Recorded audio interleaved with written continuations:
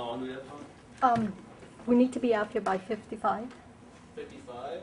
Woo. All right. So, All right, you guys are getting the extended ver, or the You're getting the short very, version. very short version.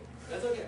I'm Alright, so, um, That's Alright, okay. So I'm gonna start with uh, this. Obviously, I'm pretty sure everyone read it at this point, but um, All right, we'll go through it. yeah, it's a it's, it's a quote that's actually quite good. Is that um, no ma- because college is all about like oh choosing your major. It's almost as if like you're determining your life early, and that's not necessarily something that you know you have to worry too much about. You always have a choice to change, even um, you know at any point in time. So just keep that in mind.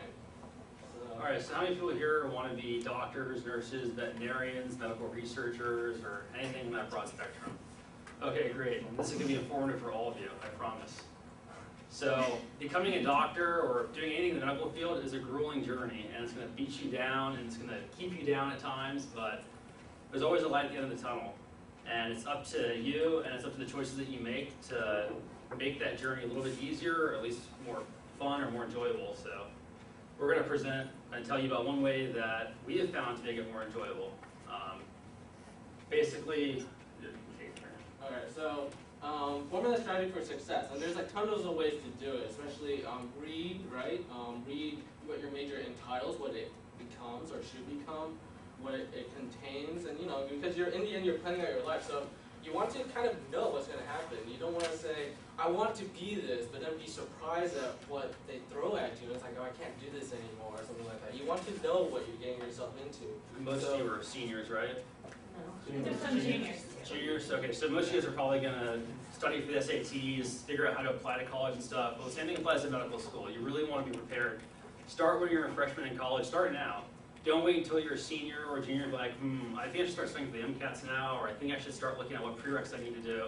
That's, this, all that information's out there and you can easily find it, and it's, it will really, uh, whether you're gonna go like veterinary, nursing school, or medical school something, knowing the information early will really help you out. It'll help you make the right decisions. And what it does is that it allows you to stand out in cloud, crowd. Is that um, you you want to know you want to do everything early. At this point in time, you want to just start. Like you want to do labs early. You want to you know mess around with the MCATs early. You want to you know try and get research opportunities early. Because the earlier you do it, the the more you stand out. Because you know typical human nature, we always tend to kind of just wait on it. You know so. A degree in cognitive science will help you stand out. Uh, Fifty percent around there are people who apply to medical school or bio majors, and only about ten percent of them get in. About seven to eight percent of people are philosophy majors, but about sixty-five percent of them get in.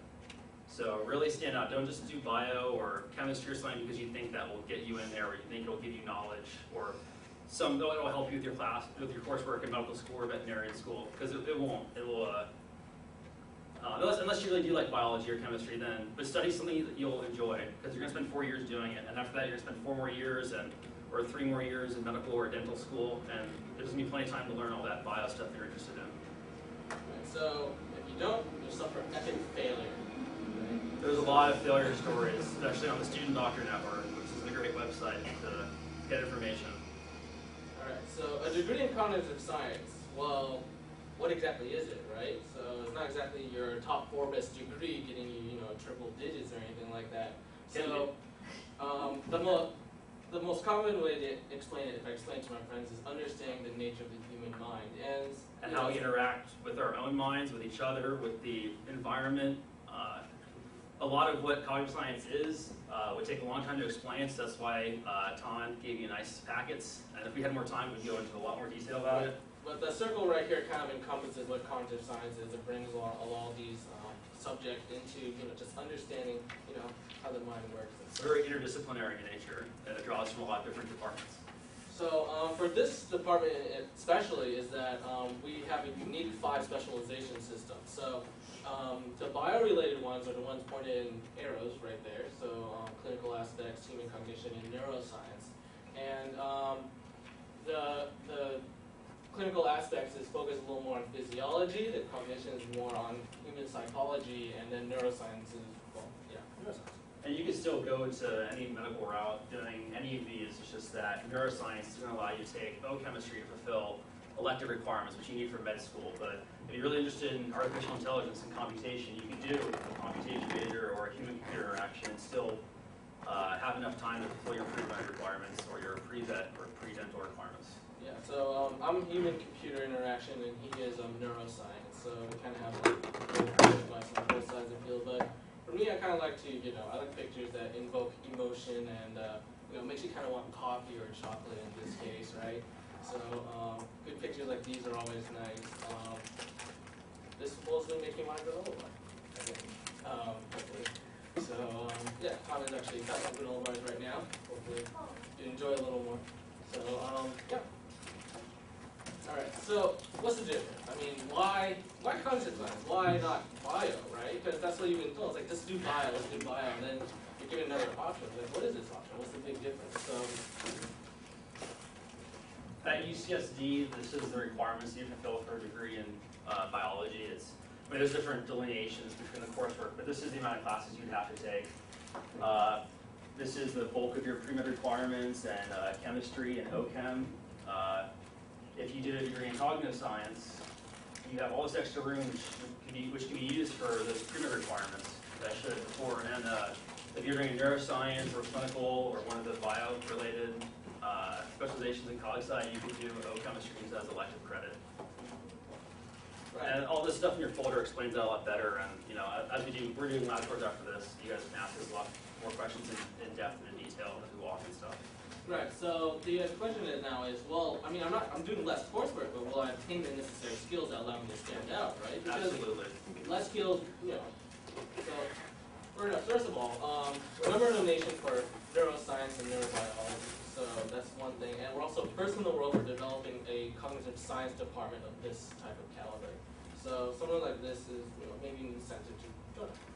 And, uh, I mean, if you did the biology degree, you could work in a lot of labs, and you definitely get a lot of that bio, and you can do a lot of health-related lab and, and, uh, coursework, and really get a feel for the academic research involved in neuroscience and biology, but with a specialization in neuroscience through cognitive science, a lot of our labs on, in our, uh, cog sci building here, uh, work with those still like really dense bio-related and chemistry-related applications. Uh, Professor Nitz's lab, who you're going to visit, uh, works with neuroscience and studies behavior in rats using local field potentials, and he does neurosurgery on the rats and puts little electrodes in their brain, uh, little wires that will find where when the neurons are firing. Dr. Pineda, Pineda's lab, who you're going to visit too, uses EEG skull caps and uh, really works does a lot of work with autistic children.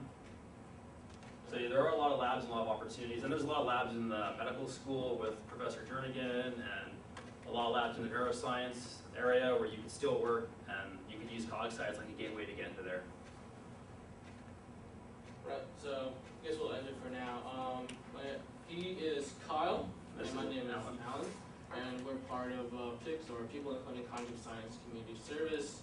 Um, person in the back right there is the lovely Tom Maxwell. She's your best friend in the cog sci department. Right, and then uh, some websites down, I'm pretty sure they're already in your packet, so um, any questions you can ask us along the way. Yeah, we're a couple minutes so, late. anyways. Can I ask, um, I'm not sure that kids, I don't know if you guys knew this when you were in high school, but everyone, I think, kind of comes into college thinking they have to be a bio major to get to med school. They don't realize that people, that there are things you have to fulfill and you have to do well on, you know, your MCAT. They don't realize that a lot of people come in other majors and backgrounds, so. And if you're a bio major, you're more likely not to get into med school than other related majors because of the pure, just because of the sheer amount of applicants. There's a lot of people that go into biology, and the people who are bio majors that get into med school are extremely hardworking and extremely smart. Not to say that you aren't, but they're, when applicate, when admission officers look at the bio applicants, they're gonna have a distribution of extremely talented and good students, have a huge resume, have a huge resume and application, score really well in the MCATs, straight A's and stuff, and there's gonna be on the lesser side of that. So they're gonna naturally choose the bio majors who are well suited, but if you're a philosophy major or an engineering major or something, you bring a whole new set of skills to the table. Skills that you can't get from maybe a bio maybe you can, but you're going to have these, all the bio that you're gonna learn in undergrad, you think you would use in med school, they're gonna teach you in med school. So they don't care if you took physiology, you know, um, although I do recommend you take biochemistry and physiology because it will help you immensely on the MCATs, but they're not gonna care if you have all these upper division bio and uh, chem classes because they're gonna teach you what you need to know when you're in there. Uh, and it's more about having fun while you're undergrad, doing something that you love. Because if you do something that you love, you're gonna do well in it.